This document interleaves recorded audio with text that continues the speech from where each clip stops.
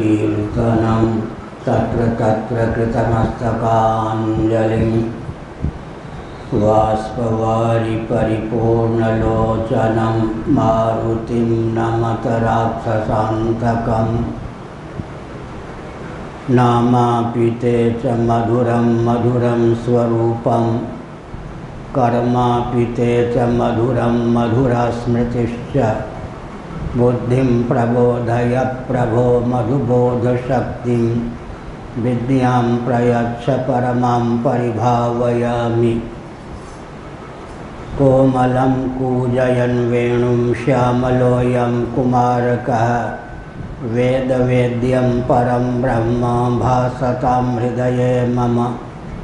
कूजन्तं राम रामेति मधुरं मधुराक्षरम् आरुह्य कविता शाखां वंदे वाल्मीकिकोकिलं निगमकल्पतरोर्गलितं फलं शुकमुखादमृतद्रवसंयुतं पिबत भागवतं रसमालयम् मुहुरहो रसिका भुवि भावुकाः सुनीचेन तरोरपि सहिष्णुना अमानिना मानदेन कीर्तनीयः सदा श्री राम जय राम, जय जय राम।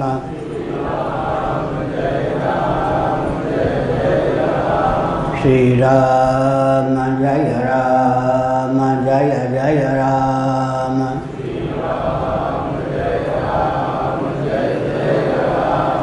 धर्म की अधर्म का प्राणियों में विश्व का गौ माता की गो हत्या भारत सर्वभूत हृदय धर्म सम्राट श्री स्वामी कड़पात्री जी महाराज की, श्री जगन्नाथ महाप्रभु की श्री बलभद्र महाप्रभु की भगवती सुभद्रा देवी की। हर हर महादेव। गोविंद जय जय गोपाल जय जय।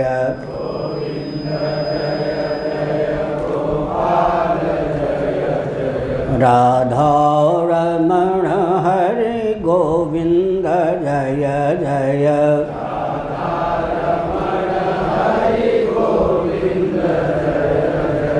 श्री कृष्ण गोविंद हरे मुरारे।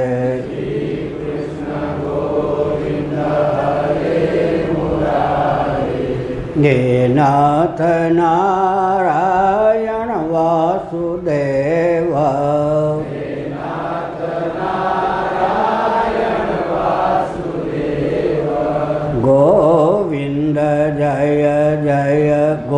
गोपाल जय जय।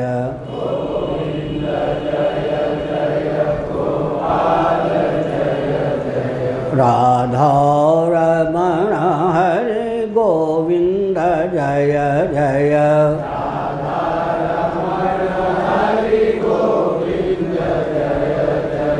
गोविंद जय जय। गोपाल जय जय।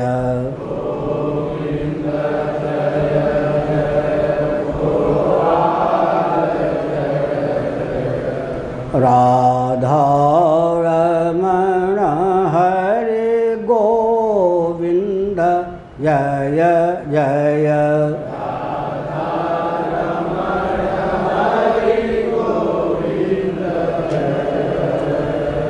गोविंद जय जय। गोपाल जय जय।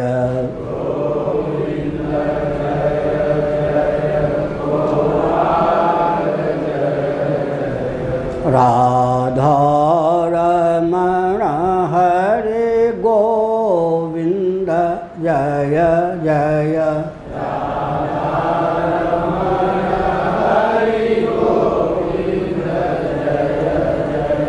श्री वृंदावन बिहारी लाल की जय नमो महद्भ्य शंभो शिव शिव शिव शिव शिव शिव।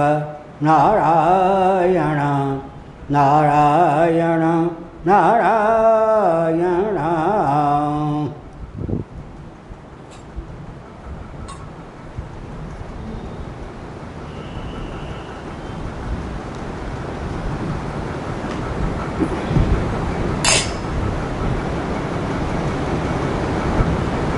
श्रीमद्भागवत स्कंध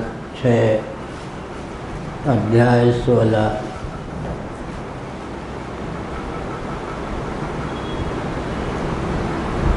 पचपन, छप्पन संतावन अंठावन श्लोक।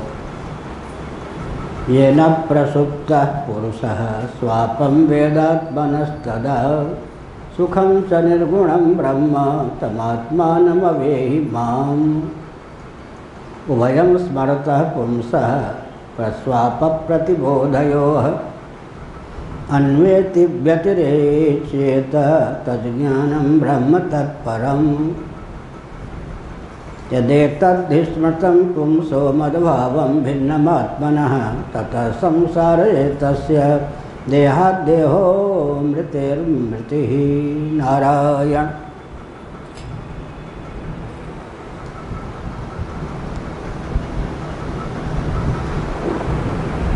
भगवान।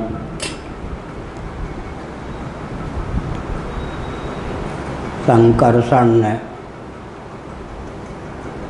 चित्रकेतु को प्रबोधित करते हुए अध्यात्म विद्या का उपदेश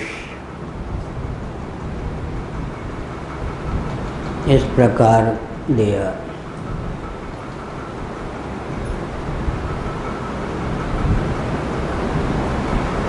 गाढ़ी नींद में अंतकरण सुप्त होता है, प्रसुप्त होता है। स्वप्नावस्था में इंद्रियाँ प्रसुप्त हो जाती हैं, लेकिन आत्म चैतन्य से अधिष्ठित अर्धनिद्रित अंतकरण निद्रा दोष और वासना की प्रगल्भता से स्वप्न प्रपंच के रूप में परिणत हो जाता है। कार्य, करण और फल, इन सब रूपों में आत्मचैतन से अधिष्ठित अर्धनिद्रित अंतकरण ही परिलक्षित होता है।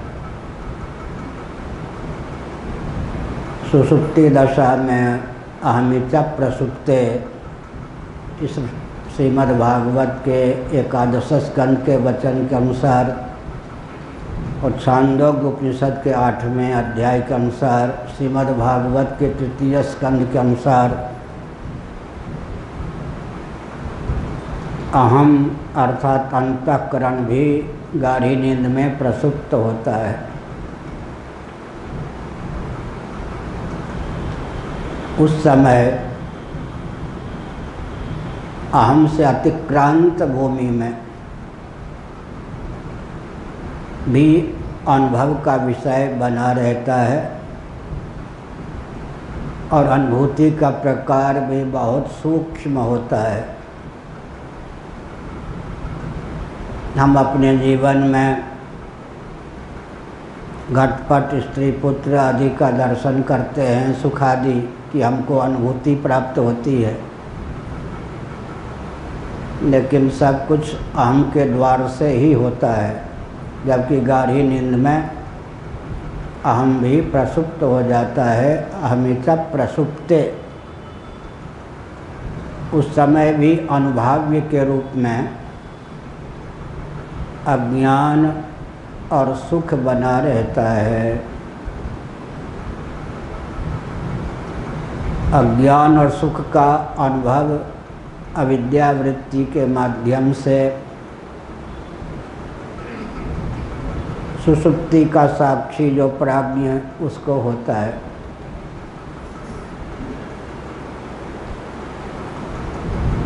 मांडूक्य उपनिषद ने चेतोमुख प्राज्ञ के लिए शब्द का प्रयोग किया। जागृत दशा में हमारे 19 मुख होते हैं। रावण के बाहर से दस मुख थे। उसका नाम था दशमुख। अंदर से वह भी उन्नीस मुखों वाला था। हम आप भी सुसुप्ति के पहले, चाहे जागृत हो, चाहे स्वप्न हो उन्नीस मुखों वाले होते हैं। मुख का अर्थ होता है उपलब्धि का द्वार। विषयोपलब्धि का जो द्वार है, उसी का नाम करण अथवा मुख होता है। पाँच कर्मेंद्रिय, पंच ज्ञानेन्द्रिय अंतकरण चतुष्टय के सहित उपोदबलक पाँच प्राणों को मिला देते हैं तो उन्नीस करणों की सिद्धि होती है।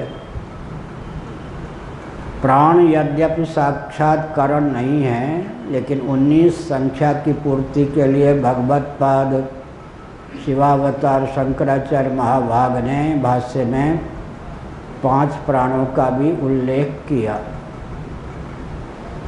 आनंद गिरी जी ने भगवान शंकराचार्य महाभाग के भाव को अभिव्यक्त करते हुए कहा, प्राण कर्मेंद्रिय ज्ञानेन्द्रिय सहित अंतकरण के उपोद्बलक होते हैं।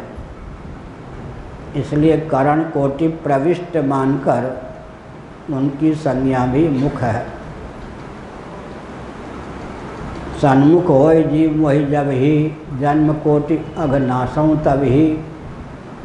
का अभिप्राय भी यही है। कर्मेंद्रिय ज्ञानेन्द्रिय अंतकरण, प्राण, इन सब का नायक जीव। सर्वथा जब भगवान के उन्मुख हो जाता है, तब उसके उद्धार का बानक बनता है। यद्यपि स्वप्न में कर्मेंद्रियाँ ज्ञानेन्द्रियाँ सुप्त होती हैं, लेकिन आत्म चैतन्य से अधिष्ठित, अर्धनिद्रित, अंतकरण ही कार्य और करण दोनों रूपों में परिलक्षित होता है। क्रियाकारक फल तीनों रूपों में परिलक्षित होता है। अतः वहाँ भी उन्नीस करणों की दाल गल जाती है।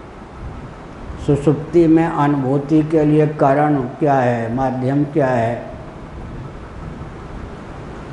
चेतो मुखा है। यह जीव सुसुप्ति में, गाढ़ी नींद में चित्त संयक मुख वाला होता है। अंतकरण की जो बीजावस्था है, वही अविद्यापद वाच्य है। उसी को मुख कह दिया गया।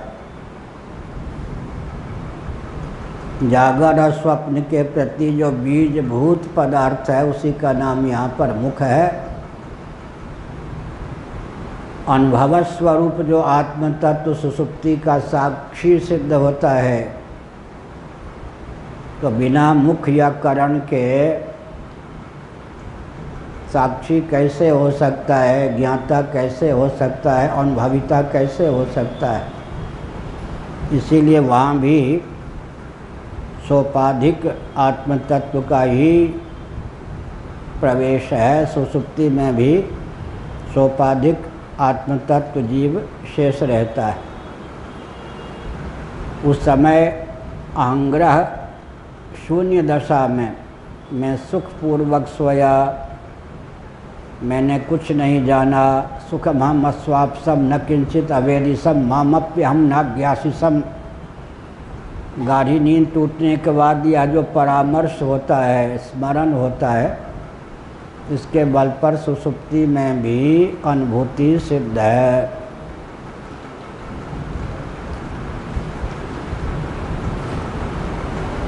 उपलब्धि भी हो और विषय भी हो, तब जागृत।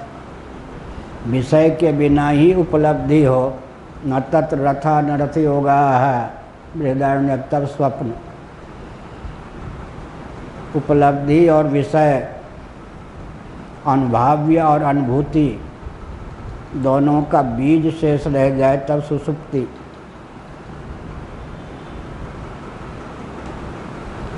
और केवल अनुभव स्वरूप आत्म तत्व शेष रह जाए तो समाधि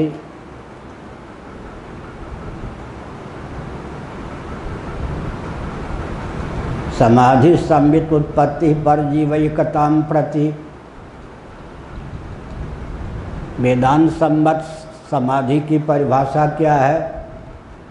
समाधि संबित उत्पत्ति संबित उत्पत्ति पर जीवयिकता प्रति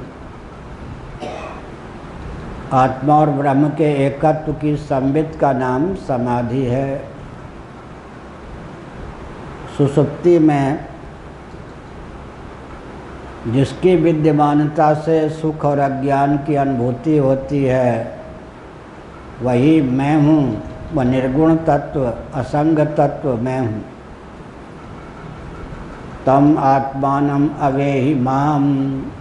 तुम भी कोई उससे पृथक नहीं, तुम्हारा भी वास्तव स्वरूप वही है। इस प्रकार तुमने जो मेरी स्तुति की, मुझे स्तुत्य मानकर नमन का अर्थ ही होता है कि जीव जिसको प्रणाम करता है, मानो उसके प्रति स्वयं को समर्पित करता है। जिसके प्रति समर्पित होता है जीव, वही उसका वास्तविक रूप हो जाता है। नमस्कार करने वाले का नमस्य ही वास्तविक रूप हो जाता है। इस प्रकार से तुमने जो मेरी स्तुति की, तीनों अवस्थाओं का जो अलिप्त साक्षी, वही मैं हूँ। प्रामाणिक रीति से निरीक्षण, परीक्षण करने पर तुम भी वही हो। ये न प्रसुप्त पुरुष स्वापम वेदात्मनस्तदा सुखम स निर्गुणम ब्रह्म तमात्मान अवेहिमाम आत्म तत्व निर्गुण है उपाधि विहीन है। उपाधि सगुण ही हुआ करती है, लेकिन आत्म तत्व निरुपाधिक चित धातु है, अतएव निर्गुण है। धीरे धीरे दार्शनिक विचार में शिथिलता आती गई। और कुछ महान भावों ने स्वरूप से आत्मा या परमात्मा को निर्गुण मानना ही छोड़ दिया। कालांतर में और भी दार्शनिक धरातल पर पतन हुआ। अब तो बहुत से ऐसे विचारक हो गए जो भगवान को निराकार मानते ही नहीं। बड़ी विचित्र बात है, न भगवान स्वरूप से निर्गुण है, न निराकार। एक पंथ को जन्म दे दिया विचारकों ने। आर्य समाज ने एक पंथ को जन्म दिया आर्य समाज एक पंथ बन गया, जिनके यहाँ न साकार है न निर्गुण सगुण निराकार है। सगुण को मानते हैं, निर्गुण को नहीं मानते, निराकार को मानते हैं, साकार को नहीं मानते। नैयायिकों का ईश्वर, वैशेषिकों का ईश्वर, सांख्यवादी योगियों का ईश्वर, आर्य समाजियों का ईश्वर। सगुण निराकार होता है। बाइबल की सीमा का ईश्वर कुरान शरीफ की सीमा का ईश्वर सगुण निराकार होता है।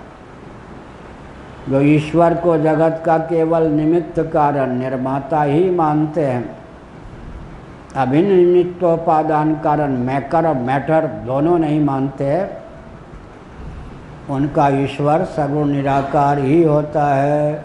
जानाती क्षति करोती की दृष्टि से। हम भगवान को तत्वतः निर्गुण, निराकार मानते हैं। औपाधिक धरातल पर सगुण, निराकार भी मानते हैं, सगुण साकार भी मानते हैं। समग्र भगवत तत्व का विज्ञान हम लोगों के यहाँ अभी सुरक्षित है। अजोपि सन्नव्ययात्मा भूतानाम ईश्वरोपि सन प्रकृतिम स्वामधिष्ठाय संभवाम्यात्म मायया गीता के चौथे अध्याय का यह श्लोक है बहुत महत्वपूर्ण है। अजोपि सन अव्ययात्मा मैं अज होता हुआ भी, अव्ययात्मा होता हुआ भी भगवान ने स्वयं को अज और अव्यय कहा। इसका अर्थ होता है कि निर्गुण निराकार का अनादित्वात, निर्गुणत्वात, परमात्मायम अव्यय है गीता का तेरहवा अध्याय। भूतानाम ईश्वरोपि सन प्रकृतिम स्वामधिष्ठाय, कहकर भगवान ने अपने आप को सगुण निराकार बताया। संभवामी आत्म माया कहकर भगवान ने स्वयं को सगुण साकार बताया। सगुण भी, निर्गुण भी, साकार भी, निराकार भी। ये सब गड़बड़ी क्यों हो गई? विचार में अपनी और नहीं निहारने से। बैरोमीटर, थर्मामीटर, ये सब है या नहीं? तो हमारे पास भी वस्तु के अंकन के लिए भगवान ने प्रयोगशाला दे रखा है। बहिर्मुख व्यक्ति उसका अनुशीलन नहीं करते। बहुत अच्छा ब्रह्मसूत्र में शास्त्रार्थ आया।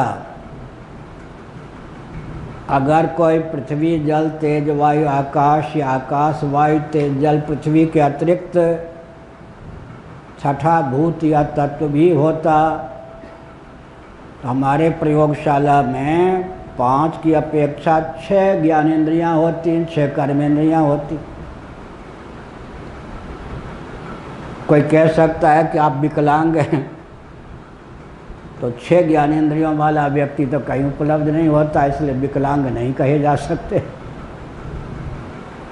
ये हमारे यहाँ क्या है, प्रयोगशाला है तयोर व्यष्टि समष्टिता समष्टि का अनुशीलन करते समय, तत्व का निर्णय करते समय अपना जीवन तो टटोलिए। इसीलिए हम तत्व महतत्व व्यक्त सबको पाँच भूतों में ही अंतर्हित कर लेना चाहिए। स्थूल भूत तो पाँच होते ही हैं, सूक्ष्म भूत भी पाँच ही होते हैं, ज्ञानेन्द्रियाँ पाँच ही हैं कर्मेंद्रियाँ पाँच ही। हमने यूँ क्यों कहा? हम अपने आप में सगुण हैं या निर्गुण, साकार हैं, निराकार, इस पर विचार करें। अगर हम सगुण, साकार भी हैं, सगुण निराकार भी हैं, निर्गुण निराकार भी हैं तो समान वाच्य युक्ति से भगवान को भी सगुण, साकार, सगुण निराकार, निर्गुण निराकार तीनों माने।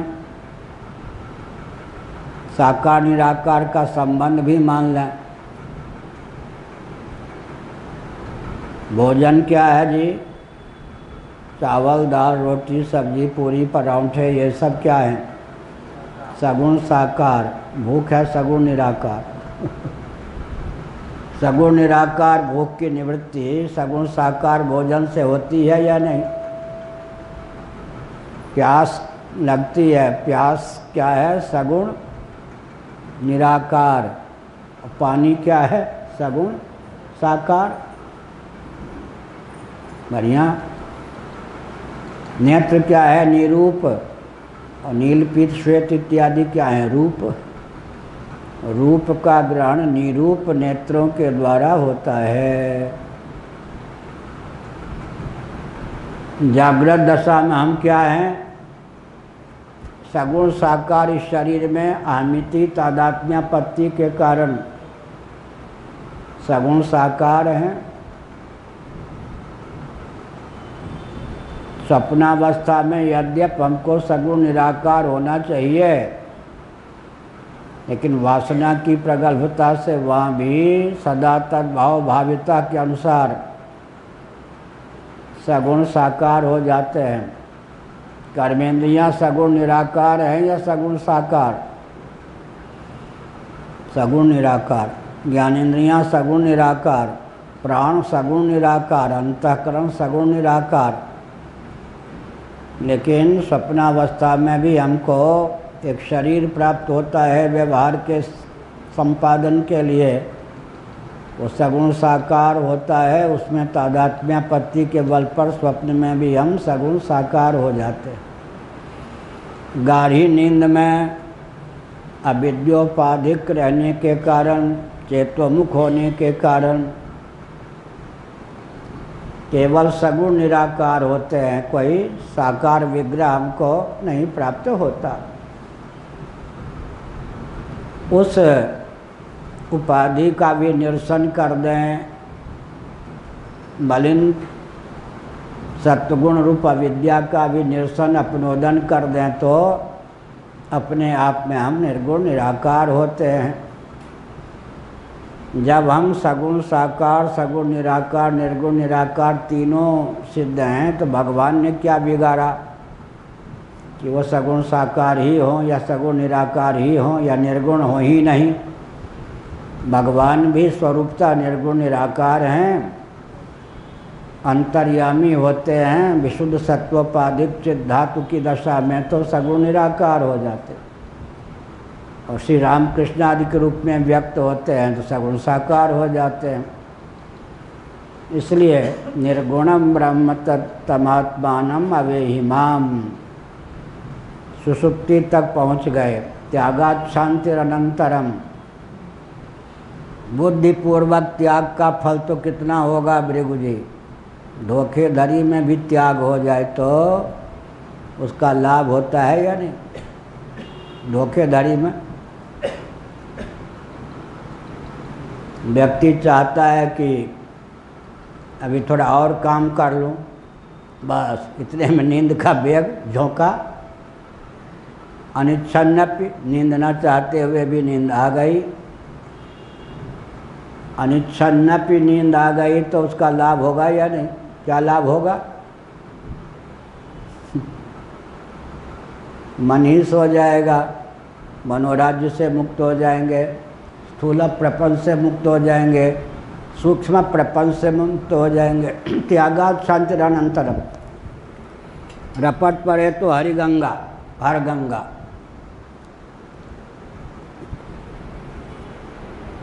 न चाहता हुआ भी व्यक्ति से त्याग करवा लिया जाए या हो जाए, उसका लाभ मिलता है या नहीं? चाहते हैं जगना नींद के झोंके ने दे दिए, सुसुप्ति दशा, आदित्यनाथ बन गए, आदित्य बन गए हमारे यहाँ। सुसुप्ति ने क्या लाभ किया जी? त्याग से कितना हुआ लाभ? स्थूल सूक्ष्म प्रपंच से ऊपर उठ गए।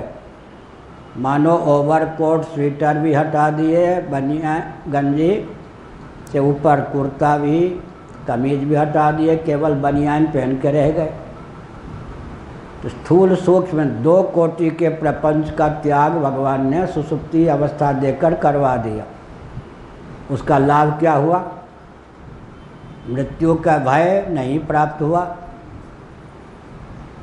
सर्दी, गर्मी, भूख, प्यास के चपेट में द्वंद्व के चपेट में नहीं आए। त्रिवृ तापों में किसी ताप की प्राप्ति नहीं हुई। कामक, क्रोध, लोभ, मोह, शोक किसी भी मनोविकार के चपेट में नहीं आए। इतना लाभ हुआ या नहीं? अगर वो त्याग भगवान न करा लें तो पागल ही हो जाए। निर्विकल्प समाधि लगती नहीं। और नींद आती नहीं तो पागल खाने जाइए, पागल तो ही जाएँगे। अनिच्छन्नप त्याग का फल मिल जाता है। फिर बुद्धिपूर्वक अगर त्याग करे तो ये सब यहाँ बैठे हैं सत्संग भवन में। किसका फल है ये? पूर्व शरीर में कितना भी चिपके हों, यमराज के दूतों ने त्याग करवा दिया। अब कुछ याद है कौन सी शकल थी? सुंदर थे, नहीं रहे होंगे। चमगादड़ थे, नहीं रहे होंगे। देवता थे, क्या थे? मनुष्य थे, कुछ मालूम है? पूर्व जन्म में अनिच्छन्न मौत की प्राप्ति होने का फल क्या है? पूर्व जन्म के रिश्तेदार, नातेदार छोड़ दीजिए, संपत्ति छोड़ दीजिए, अपने शरीर का भी भान नहीं है। हुआ या नहीं? ये तो मृत्यु का फल है कि यहाँ पर बैठे। मौतें ना हुई होती। इस रूप में कहाँ से होती? अरबों बार हम लोग जन्म ले चुके, शरीर छोड़ चुके, आगे आएगा वर्णन। किसकी महिमा है? उन सब पर प्रकृति ने पानी फेर दिया। किसी पूर्व जन्म के शरीर का, रिश्तेदार का, नातेदार का ज्ञान है? ध्यान है क्या? अनिच्छन्न न चाहता हुआ जो त्याग हो गया ईश्वर ने करवा दिया पागल होने से बचाने के लिए उसका लाभ है या नहीं? हम्म, न चाहता हुआ भी अनिच्छन्न त्याग हो जाए तो उससे व्यक्ति लाभ हो लाभान्वित होता है। कहीं दोनों प्रकार का त्याग सध जाए। त्यागी गई वस्तु में राग भी न रह जाए तो सोने में सुगंध फिर तो ही हो जाए। त्यागी गई वस्तु में, राग भी न रह जाए तो मुक्त ही हो जाए। लेकिन रागास्पद कहाँ गए पूर्व जन्म के? कुछ दिखाई पड़ते? हम एक साल में दो चार उदाहरण देते हैं। मान लीजिए सत्संग भवन है ही, यहाँ पर आपको मनुष्य ही नहीं देवता, दानव धनुज स्थावर, जंगम, विविध प्रकार के प्राणी दिखाई पड़े। कोई भूत, कोई प्रेत, कोई चांडाल, कोई म्लेच्छ कोई देवता, कोई गंधर्व, कोई दानव, कोई चमेली, कोई चंपा, कोई उल्लू, कोई उर्वशी, कोई शेर, कोई बिल्ली, कोई चूहा, कोई विश्व सुंदरी, कोई अत्यंत कुरूप। किसी से सटने का मन करेगा, किसी से हटने का मन करेगा। बाद में पता चले कि एक जन्म पहले मैं ये था, दूसरे जन्म में मैं इस शरीर में था, तीसरे जन्म में इस शरीर में था। क्या होगा? ध्यान गया। इसलिए योग वासिष्ठ कम से कम गीता प्रेस कल्याण की ओर से जो विशेषांक संक्षिप्त है हिंदी में, वो पढ़ लेना चाहिए। उसमें साधना सुदृढ़ होती है। एक एक व्यक्ति ने अपने और छोटे भाई के भी, मृग इत्यादि के भी दस दस जन्मों का वर्णन किया। बीस बीस जन्मों का वर्णन किया। योग वासिष्ठ ठीक से पढ़े व्यक्ति तो उसको दिव्य दृष्टि प्राप्त हो जाती है। सर्वात्म भाव की प्राप्ति का मार्ग प्रशस्त हो जाता है। इसलिए धीरे धीरे पतन हो रहा है विचार में। अब तो पतन की पराकाष्ठा है। क्यों? अंग्रेज़ों ने ऐसी शिक्षा पद्धति लाद दी। जिसके फलस्वरूप हमारा कोई वैदिक ज्ञान, विज्ञान सुरक्षित नहीं रह सकता। संस्कृत की उपयोगिता इतनी अंग्रेज़ों ने घटा दी। संस्कृत पढ़ा लिखा व्यक्ति पाँच से अधिक छठी जीविका का मार्ग नहीं निकाल सकता। अध्यापक हो जाए, कर्मकांडी हो जाए ज्योतिषी हो जाए, वैद्य हो जाए, यही सब हो सकता है। क्या होगा? संस्कृत पढ़ा लिखा व्यक्ति पाँच से अधिक उसके लिए जीविका का द्वार ही नहीं छोड़ा। कथावाचक बन जाओ, वैद्य बन जाओ, ज्योतिषी बन जाओ, कर्मकांडी बन जाओ, यही अध्यापक बन जाओ, यही ना। और अंग्रेज़ी वालों के लिए पच्चीसों विद्या, पचासों कला का मार्ग प्रशस्त कर दिया। ये म्लेच्छ अंग्रेज़ों ने सनातनियों को म्लेच्छ बनाने का कितना बढ़िया मार्ग प्रशस्त कर दिया।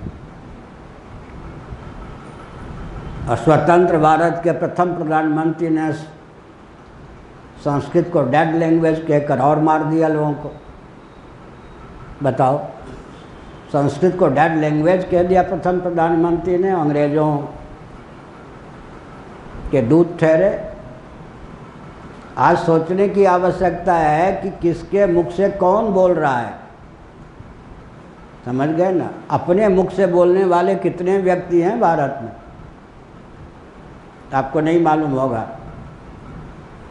सावधान। ज्वर के आवेग में अव्य तव्य व्यक्त बोलने लगता है। कुछ पता चलता है उसको? मूर्छा की दशा में कुछ और बोलने लगता है। डाकनी, शाकनी, भूत, प्रेत, पिशाच, चुड़ैल, यक्ष, गंधर्व का आवेश हो जाए तो कुछ और बोलने लगता है।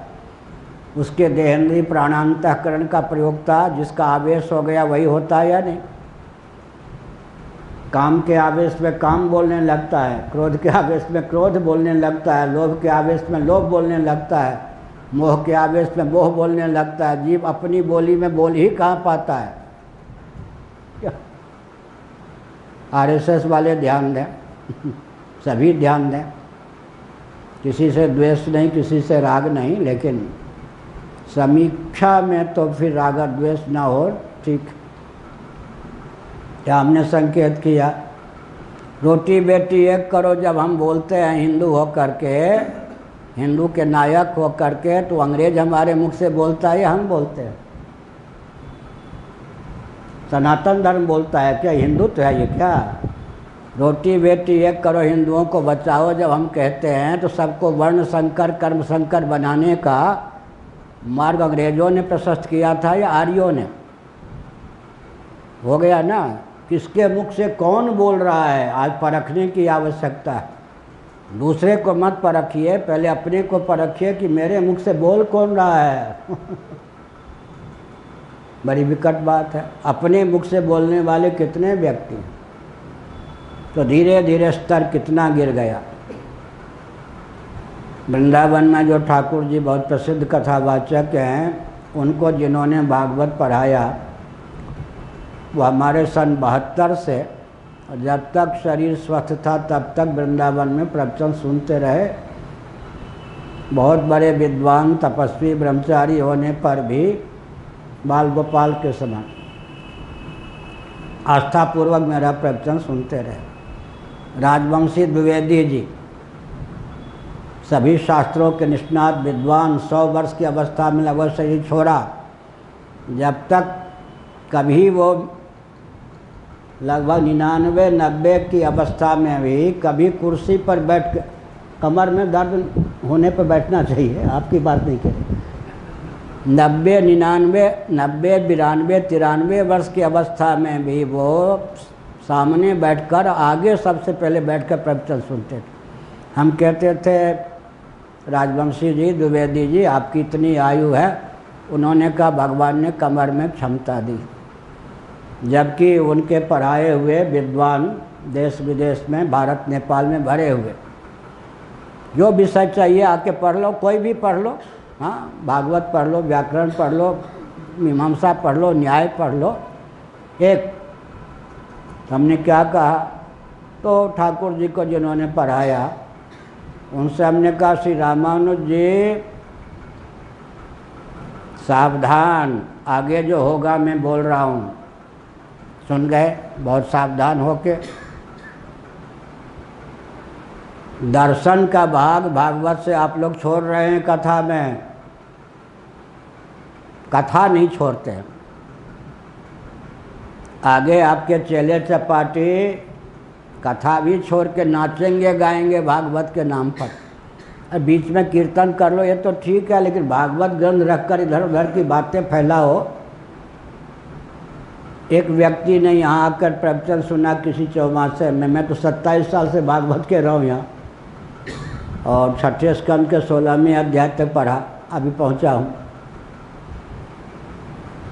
उसने मुझसे पूछ दिया कि आप जो भागवत कथा कहते हैं, वही भागवत है या कथावाचक जो कहते हैं, वो भागवत? बाद में कहा, आप जो कहते हो तो कुछ और है, भागवत तो कुछ और है, या लो। हमको ही फेल कर दिया। जो सचमुच में एक एक श्लोक का अर्थ हम करते हैं, व्याख्या करते हैं, दर्शन, विज्ञान, व्यवहार सब दृष्टि से, राजनीति इन सब दृष्टि से, उसने मेरी कथा को ही फेल कर दी। भागवत वो है ना, जो कथावाचक कहते वो भागवत। समझ गए? बाद में रामानुज जी ने कहा, आपकी बात उस समय हमको करवी लगी, अब मैं रो रहा हूँ। जिनको जिनको भागवत पढ़ाया, वह कथा भी नमक के समान कहते हैं, इधर उधर सी बातें गाते हैं, चादर ओढ़ के नाचते हैं क्या क्या रुझुन करते हैं, पर्दा के पीछे दृश्य रखते हैं, दिखाते हैं, झांकी दिखाते हैं, भागवत कथा है या क्या है? इसी प्रकार मैंने कहा, कटौती करते जाओ।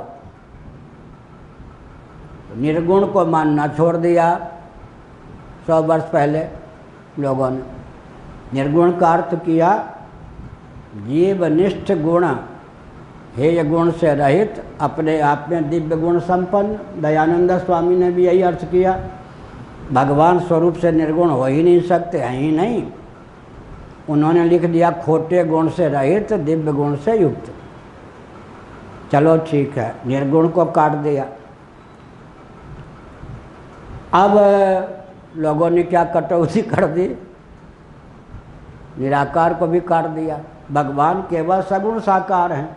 लीजिए, मूलधन ही गया तो संभवाम में आत्म माया क्यों जी? आकाश सगुण निराकार है या नहीं? वायु भी सगुण निराकार है या नहीं? और तेज सगुण साकार है, रूपयुक्त है या नहीं? जल सगुण साकार है या नहीं? पृथ्वी सगुण साकार है या नहीं? हमारे आपके शरीर सगुण साकार है या नहीं? सूक्ष्म शरीर सगुण निराकार है या नहीं? आत्मा निर्गुण निराकार है या नहीं? इसलिए का निर्गुणम ब्रह्मा। इसमें युक्ति भी है। ये भूतले घटो नास्ति। यहाँ घट नहीं है। अगर एक भी घट है तो भूतल को निर्घट कह सकते क्या? एक भी घट घड़ा रह गया तो भूतल को निर्घट नहीं कह सकते। भगवान में एक भी गुण रह गया तो भगवान निर्गुण कहाँ हुए? वो एक गुण ही सगुण बना देगा। इसलिए श्रीमद् भागवत का एक श्लोक बहुत महत्वपूर्ण है, ये भी भागवत ही है।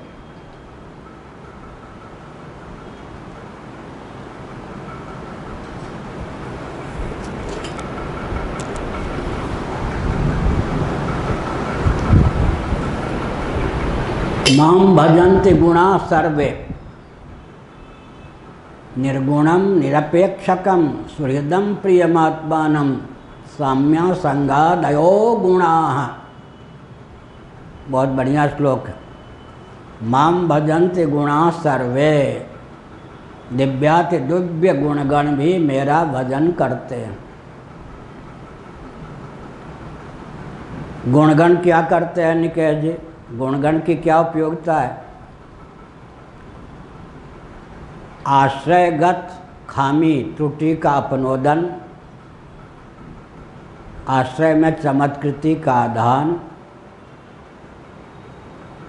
उदाहरण के लिए चंदन, पाउडर आदि जो लगाते हैं, चेचक आदि के दाल, दाग हैं, पहले उनको भर दो उससे। और कुछ कालिमा भी शरीर पर हो तो उनको गोरे बना दो। दोषा दोषापनयन करते हैं गुणाधान करते हैं ना। दिव्यता का दान कर दिया दोष का अपनोदन कर दिया। पालिश आदि जूता पर करते हैं काष्पे करते हैं तो गुण ही तो है ना। गुण क्या करते हैं? अपने आश्रय में कोई खामी हो, त्रुटि हो, उसका अपनोदन कर देते हैं।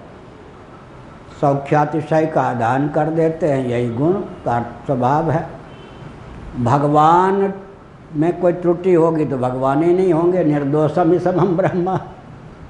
गुण रहकर भी भगवान में झक मारेंगे, यानी क्या उपयोगिता है भगवान में गुणों की? भगवान अगर सदोष हों तो गुणों, गुण क्या करें? दोषापनयन करें। गुणाधान करें, भगवान में कोई अपूर्णता हो तो गुणाधान करें। इसलिए जैसे माँ के प्रयोधर में जो धवल दुग्ध की धारा होती है, वो उसके पीने के लिए नहीं होती, बाल गोपाल के लिए। एक बार द्वारका के मानी शंकराचार्य जी ने मुझसे कहा, एकांत में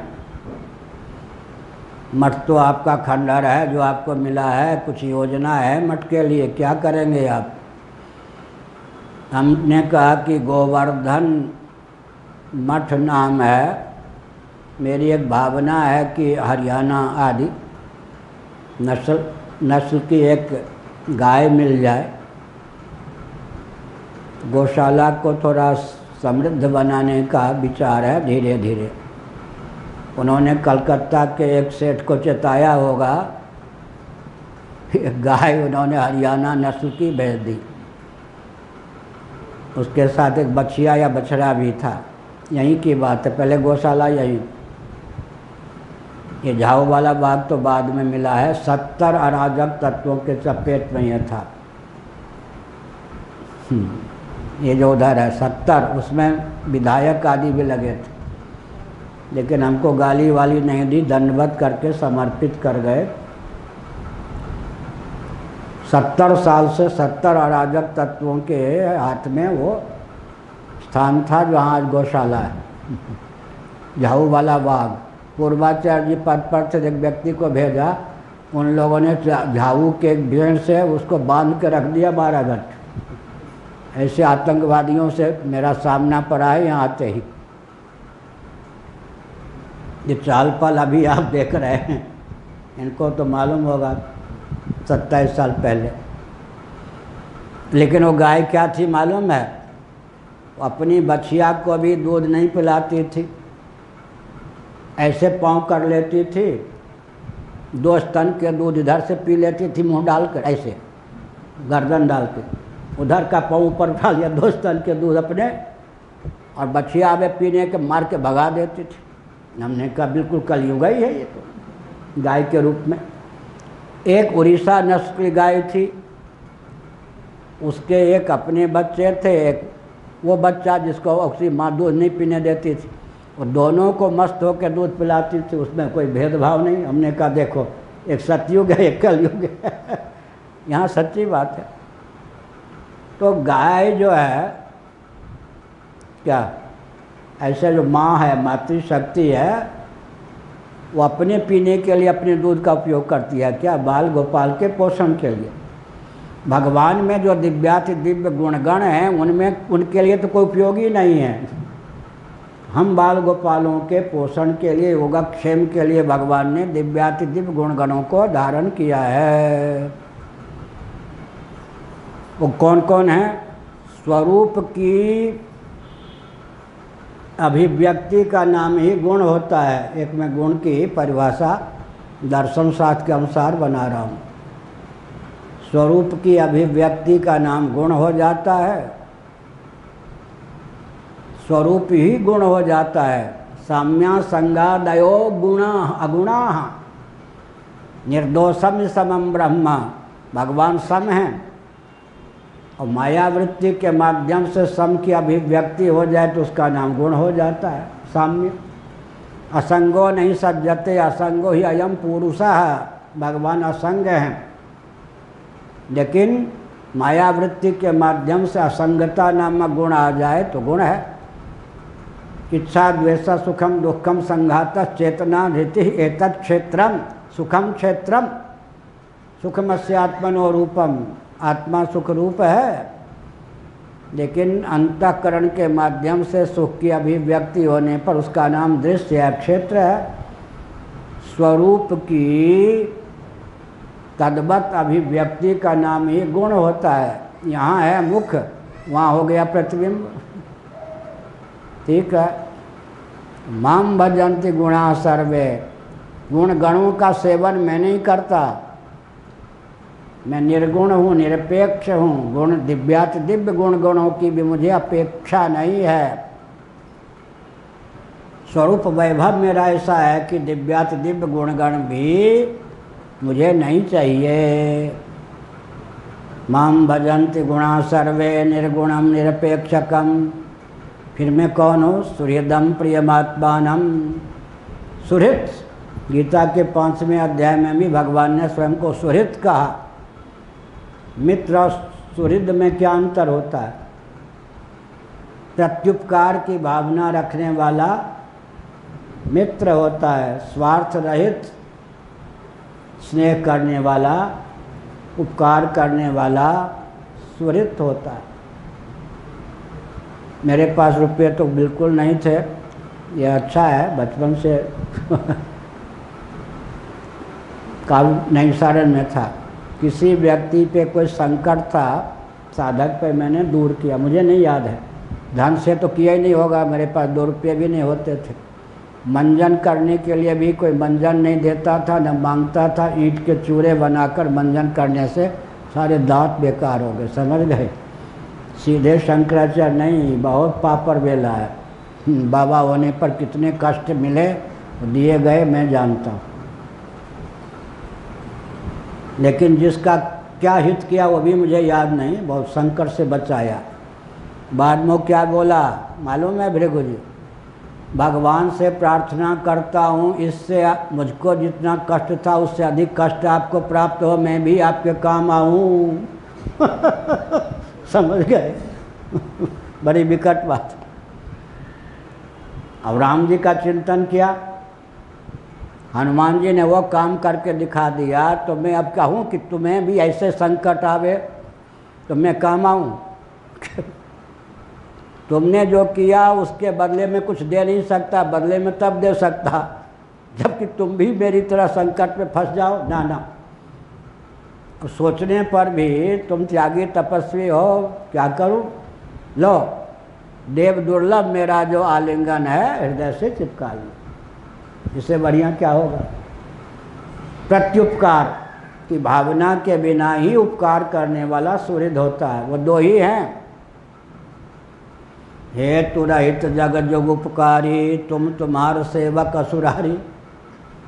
हे भगवान, सुरनर मुन सबकी रीति स्वार्थ लाय करें सब पीति पत्नी का पति से, पति का पत्नी से, नौकर का मालिक से, मालिक का नौकर से बेटे का बाप से, बाप का बेटे से सब स्वार्थ ही का संबंध है। लेकिन सुखद क्यों है? बीच में मर्यादा है। स्वार्थ का संबंध है, पति पत्नी आदि का सब स्वार्थ का संबंध है। सुखद क्यों है? बीच में मर्यादा। अगर मर्यादा को हटा दें तो सारे संबंध विपत्ति हैं। स्वार्थ रहित स्नेह करने वाले दो ही हैं। या तो भगवान या भगवान का कोई सच्चा भक्त, तुम तुम्हार सेवक। लेकिन मेरा विचित्र अनुभव है। स्वार्थ रहित सुविधा, स्वार्थ रहित स्नेह, स्वार्थ रहित सम्मान। नहीं पचा सकता स्वार्थी व्यक्ति। तीन शब्द हमने निकाला इस बार। कोई घटना घटी कहीं तो उससे हमने तीन वाक्य निकाला, शिक्षा ले ली। स्वार्थ रहित स्नेह, स्वार्थ रहित सम्मान, स्वार्थ रहित सुविधा व्यक्ति नहीं पचा सकता। स्वार्थी व्यक्ति का यही लक्षण है कि स्वार्थ रहित स्नेह नहीं पचा सकता। स्वार्थ रहित सम्मान नहीं पचा सकता, स्वार्थ रहित सुविधा नहीं पचा सकता। तो हमको प्रायः प्रायः निन्यानवे प्रतिशत जो संपर्क में आते हैं, बुद्धू समझते हैं। मुझे तो अब मालूम ही नहीं था कि मैं इतना दिव्य हूँ, इतने गुणगण मेरे पास हैं। ये शंकराचार्य होकर इतने पद, ऊँचे पद पर होकर मुझ पर लट्टू क्यों हैं? अवश्य ही कोई स्वार्थ साधना चाहते हैं। या अब तक मुझे अपनी दिव्यता का पता नहीं था, पता लग गया। अब इनको क्यों ना मूर्ख सिद्ध करूँ? लो। स्वार्थ रहित स्नेह नहीं पचा सकता व्यक्ति। स्वार्थ रहित सम्मान भी नहीं पचा सकता स्वार्थ रहित सुविधा भी नहीं पचा सकता। देने वाले को मूर्ख समझता है, बुद्धू समझता है या स्वार्थी समझता है। स्वार्थी व्यक्ति स्वार्थयुक्त स्नेह का निर्वाह कर सकता है। स्वार्थी व्यक्ति स्वार्थयुक्त व्यक्ति से स्वार्थ स्वार्थ साध सकता है। उसका प्रेम भी स्वार्थयुक्त होना चाहिए। हमारी बात छोड़ दीजिए श्री कृष्ण को लोगों ने रुला दिया। हमारे पास जो व्यक्ति हैं, वो उनकी बात नहीं है। भूतपूर्व भूतपूर्व स्वयं सो। श्री कृष्ण भगवान को रुला दिया घर के व्यक्तियों ने। मालूम है, महाभारत समय हो गया। नारद जी से भगवान ने कहा। एक बार देवर्ष नारद आ गए। नारद जी सबके क्लेश को दूर करते हो, मुझ दुखिया के दुख को भी दूर करो। किसने पूछा मालूम है? श्री कृष्ण भगवान से। बहुत बढ़िया अध्याय है महाभारत में, शांति पर्व में या अनुशासन में। नारद जी को अच्छा बढ़िया मिल गया अवसर क्या? हाँ अब तो भगवान भी हमारे चलवा बन रहे हैं। नारद जी, सबके संकट दूर करते हो, मेरा संकट भी दूर पर हो, फिर क्यों नारद जी ने मोछ पे ताव दे दिया? मोछ अगर होंगे तो। देवताओं के तो मोछ बनाते ही नहीं। आदित्य मंडल में जो पुरुष हैं हिरणमय मोछ आदि है या नहीं? आजकल मोछ नहीं होते देवताओं। हिरणमय दाढ़ी हिरणमय मोछ हिरणमय जटा, वर्णन है या नहीं? छांदोग आदि में। सुनिए, भगवान से कहाँ, बताइए, मैं तो जहाँ जाता हूँ, लोगों का कष्ट दूर करता हूँ।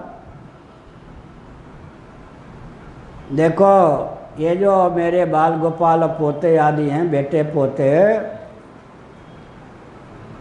ये अब मुझको भगवान तो छोड़ दो, स्वामी तो छोड़ दो पिता पितामह तो छोड़ दो, अब ये मुझको अपना सेवक मानने लगे हैं। जितना मैं लाड़ प्यार करूँ सुविधा दूँ, ये मुझको ही बुद्धू समझने लगे हैं। बड़ी विकट बात है। नारद जी ने क्या कहा, मालूम है? बहुत अच्छी चुटकी ली। सर पे चढ़ा लिया ना दूरी रखते वीआईपी बन के रहते तो ये कुछ गिनते आपने वीआईपी बना के अपने को नहीं रखा, उस समय वीआईपी शब्द नहीं था। ध्यान गया? ये शंकराचार्य यहाँ कोई पहरेदार है नहीं, चांदी सोने वाले पीछे है नहीं, चमर डुलाते नहीं, सोने चांदी के आसन पर नहीं, सोने के मुकुट नहीं। शंकराचार्य तो ये हैं, नकली भी नहीं मान सकते। फिर अगर ये बुद्धू ना होते तो चार जगह मेरी चेकिंग होती। तब शंकराचार्य के पास अगर एक टोकरी फल कम से कम दस हज़ार रुपये लेके जाते तो शंकराचार्य मेरी ओर देख के एक फल दे देते। यहाँ तो न फल है। हम्म, कौन है? ये कानपुर वाले।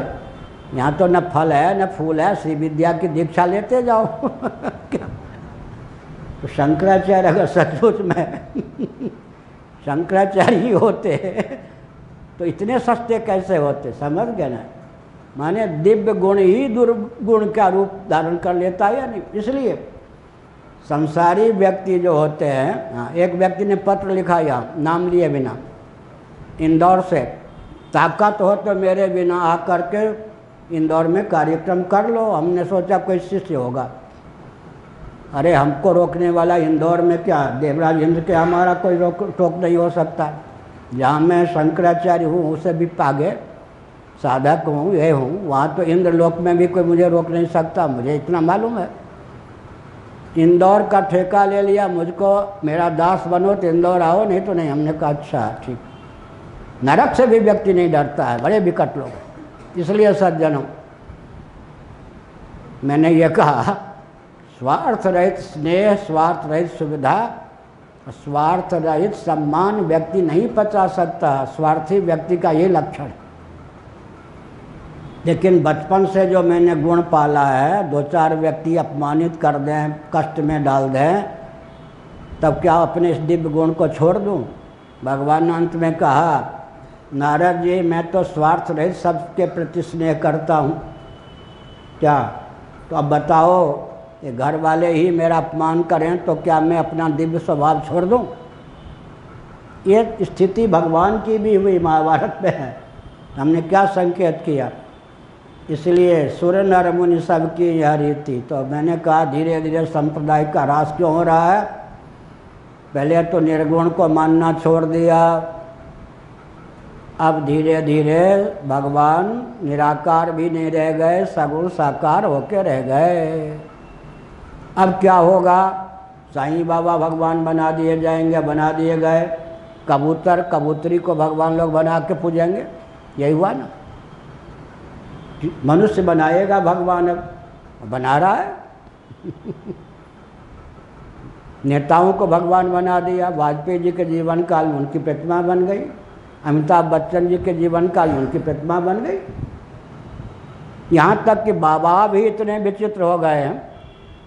उनको संतोष नहीं है, या तो मना कर जाए। भगवान की प्रतिमा हो सकती है, मेरी प्रतिमा, मेरा अपमान है। क्या?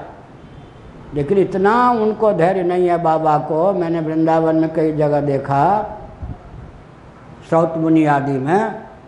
एक मंदिर में एक जगह भगवान है।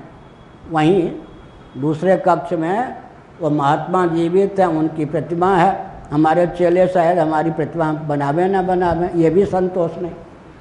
अब चेले, जगह तो आप वृंदावन हो या हरिद्वार हो या ऋषिकेश हो, जगह तो उतनी है। फिर क्या करते चले? गुरु जी के गुरु जी की समाधि खुद खुदवा करके वहाँ अपनी समाधि देने की व्यवस्था कर जाते हैं। गुरु जी की प्रतिमा हटा करके अपनी प्रतिमा ठोक जाते हैं कि मेरी प्रतिमा बनाओ अब जगह तो उतनी है। कि हुआ या नहीं, पतन हुआ या नहीं? इसका मतलब क्या हुआ? धीरे धीरे धीरे धीरे अब इतना पतन हो गया, अब न भगवान सगुण है, न साकार है। अब क्या है?